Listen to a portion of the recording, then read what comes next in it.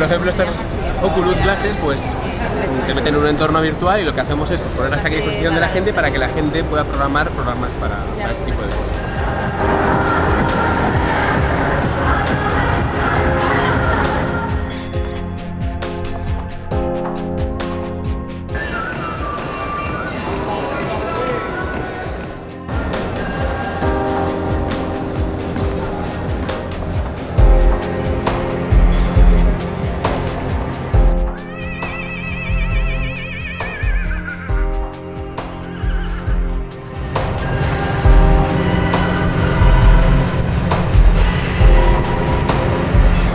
Continuar ofreciéndole no solamente los servicios al consumidor, sino volverse más importante con los artistas, ya que se están empezando a representar directamente y creando un modelo que es más para esta época